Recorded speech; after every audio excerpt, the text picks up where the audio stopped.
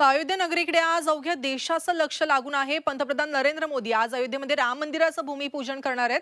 निवडक एकशे पंच्याहत्तर निमंत्रितांच्या उपस्थितीमध्ये हा कार्यक्रम संपन्न होणार आहे.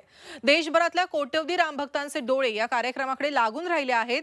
राम मंदिर भूमिपूजन कार्यक्रम निमित्तानं संपूर्ण देशभरात जल्लोषाचं वातावरण आहे. भूमिपूजन कार्यक्रमाच्या पूर्वसंध्येपासूनच देशाच्या कानाकोपऱ्यातले रामभक्त आनंद साजरा करताना दिसत आहेत एकंदरीतच सारा देशच राममय झाल्याचं वातावरण trabaja la.